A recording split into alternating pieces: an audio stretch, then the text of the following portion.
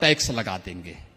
विरासत टैक्स का मतलब आपके पूर्वजों ने, आपके माता पिता ने, आपके पूर्वजों ने कोई संपत्ति अर्जित की है? वे कांग्रेसी क्या चाहते हैं? कि उस संपत्ति का सर्वे करा करके लोग रखेंगे और बाद में कहेंगे, जैसे औरंगज़ेब के समय जजिया कर लगता था ना, ऐसे ये कांग्रेस जजिया कर लगाना चाहती है। क्या आप इसको स्वीकार करेंगे क्या? क्या ये देश स्वीकार करेगा क्या? अरे मुगलों की औलादें तो वर्तमान में रिक्शा चलाने का काम कर रही हैं। और ये लोग जजिया कर वसूली करेंगे भारत से।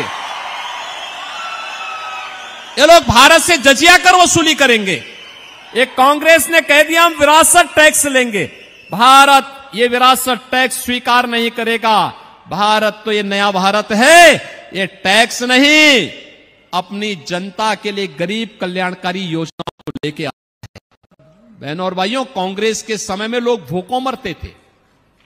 आज 80 करोड़ लोगों को फ्री में राशन मिल रहा है।